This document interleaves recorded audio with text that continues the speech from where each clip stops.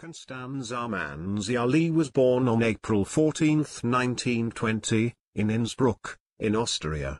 Not much is known all about her younger years, but she began working as a cook and a dietitian for Adolf Hitler starting from his 1943 stays at the Berghof until his death in Berlin, on April 30, 1945. Hitler moved into the Führer bunker on January 16, 1945. The Reich Chancellery bunker complex in Berlin was made up of two bunkers, the lower Führer bunker and the older upper bunker, known as the Vor bunker. Two of the rooms in the Vor bunker were used for food storage. Another room was the kitchen which had a refrigerator and a wine store. Manziarly used the kitchen to prepare Hitler's meals while he stayed in the Führer bunker. Together with Gerda Christian and Traudl Junge, Manziar Lee was personally requested by Hitler to leave the bunker complex on Sunday, April 22, 1945.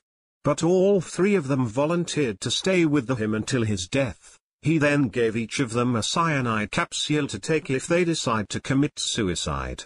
She left the bunker complex on May 1, in a breakout group led by SS Brigade Führer Wilhelm Mohnke. Evading the Soviet Red Army troops, they made their way north to a German army holdout group in the cellar of the Schultheiss-Patzenhofer brewery on the Prinzenallee.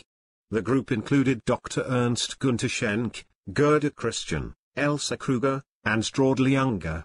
In the early morning of May 2, the group was captured by Red Army soldiers.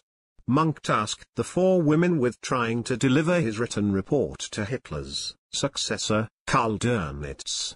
The women escaped from the brewery and made their way into the Soviet-occupied area of Berlin.